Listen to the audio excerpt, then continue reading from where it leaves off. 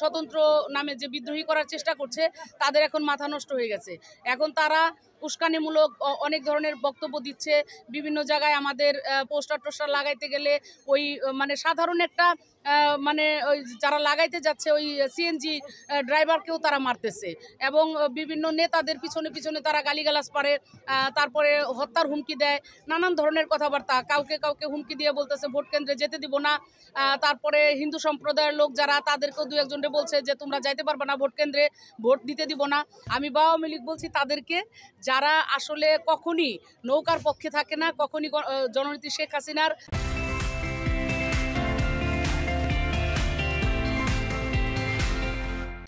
মানে নির্দেশনাকে মানে না। আমি তাদেরকে বলছি এবং সেটা সেগুলো কিছু নব্য আওয়ামী লীগ আছে তাদেরকেই বলা হয়েছে। পদ পদবীধারী যারা তারা অন্তত মানে এই নৌকার বিপক্ষে করতে পারে না। আর যারা মনে করে যে স্বতন্ত্র স্বতন্ত্র বলতে আমি এদেরকে স্বতন্ত্র মানিই না। কারণ হলো, একে তো তাদের পদ পদবী আছে, দ্বিতীয়তে তারা মানে নৌকার মনোনয়ন চেয়েছে এবং এতদিন ভরেই তারা একই কথা বলছে যে নৌকা যার, আমরা সবাই তার। এই এই এই কথাটাও তাদের আছে এবং নৌকায় কেন ভোট দিবেন, এই ফিরিস্তি তারা ফেসবুকে কিন্তু অনেকবার দিছে। তো এইগুলা দেওয়ার পরে এখন যখন নৌকা পায় নাই, তখন আওয়ামী লীগ বাদ দিয়ে এখন আমি লীগ হয়ে গেছে। মানে তারে ভোট দেন সে ব্যক্তিকে ভোট দেন।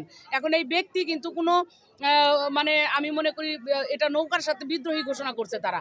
তো যারা নৌকার সাথে বিদ্রোহী বিদ্রোহ করে, আমি মনে করি দলীয়ভাবে, কেন্দ্রীয়ভাবে তাদের কতটুকু কি হওয়া উচিত, এটা আসলে দল এবং কেন্দ্র এটাকে মানে তারাই এটার বিবেক বিবেচনা করে, তারাই এটার প্রতিকার করবেন, এটা আমি আশা করি।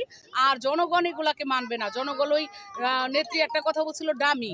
এই ডামি তো ডামি। ডামির কোনো দাম এই দেশের জনগণ দিবে না। যেটা নেত্রীর মার্কা আপনারা শুনেছেন শেখ হাসিনা সেদিনও সিলেটের জনসভায় বলেছে যে আমার মার্কা নৌকা, আমি যাদেরকে নৌকা দিছি, আপনারা সেই নৌকায় ভোট দিবেন। এটা শেখ হাসিনার কথা। আমাদের বিরোধিতা করছে এবং স্বতন্ত্র নামে যে বিদ্রোহী করার চেষ্টা করছে, তাদের এখন মাথা নষ্ট হয়ে গেছে। এখন তারা উস্কানিমূলক অনেক ধরনের বক্তব্য দিচ্ছে। বিভিন্ন জায়গায় আমাদের পোস্টার টোস্টার লাগাইতে গেলে ওই মানে সাধারণ একটা মানে ওই যারা লাগাইতে যাচ্ছে, ওই সিএনজি ড্রাইভারকেও তারা মারতেছে।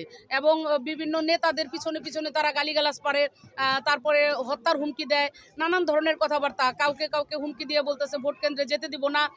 তারপরে হিন্দু সম্প্রদায়ের লোক যারা, তাদেরকেও দু একজনকে বলছে যে, তোমরা যাইতে পারবে না ভোট কেন্দ্রে, ভোট দিতে দিব না। অনেক ধরনের কথা আমাদের কাছে আসতেছে। ইতিমধ্যে আমরা অনেক অনেক রকমের বাজে মন্তব্য আমাকে নিয়ে করছে। সেগুলোর জন্য আমরা ইতিমধ্যেই আইনি ব্যবস্থা নিয়েছি। নির্বাচন কমিশনকে জানিয়েছি, আমরা আদালতে এগুলোকে জানিয়েছি।